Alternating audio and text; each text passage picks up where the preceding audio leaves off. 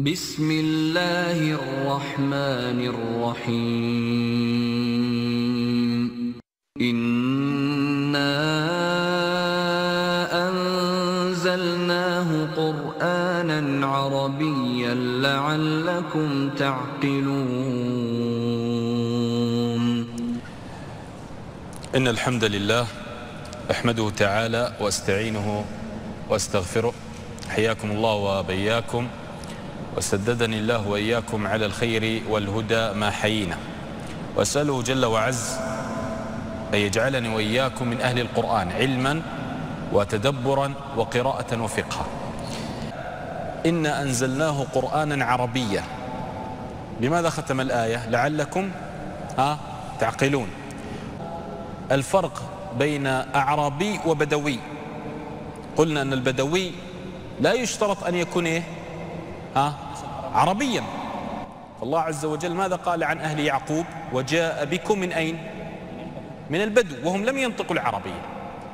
والأعرابي هو الذي يحيا باليابدة بالبادية ويشترط عليه أن ينطق إيه؟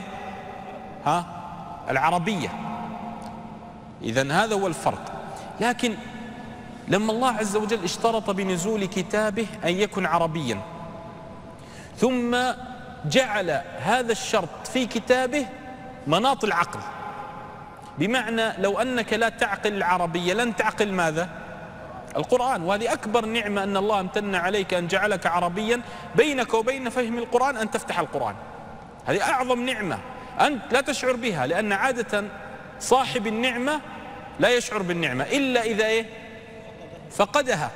كرجل صحيح متى يشعر بنعمة الصحة؟ إذا ابتلاه الله بالمرض كرجل عنده ولد متى يشعر بنعمة الولد؟ إذا فقد الولد. فأنت لأنك عربي لا تشعر بنعمة أن تكن عربيا. بينك وبين كتاب الله أن تفتح فقط القرآن وتنظر بإعجازه. لكن الله لما قال لعلكم تعقلون عقل الأمر بلغة العرب بمعنى أدركه وبمعنى أحكمه.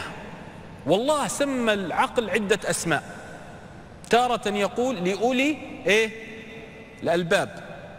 وتارة لأولي النهى. وتارة تعقلون.